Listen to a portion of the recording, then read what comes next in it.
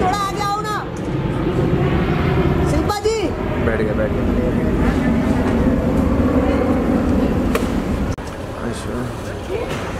गाड़ी लाइन लगाना। लाइट चालू है।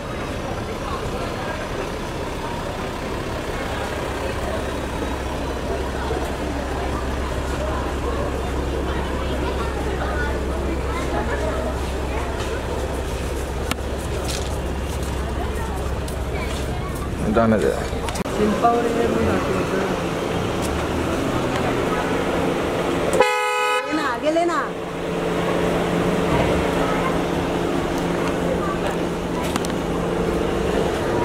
ये चढ़ा दिएगा यार शिट यार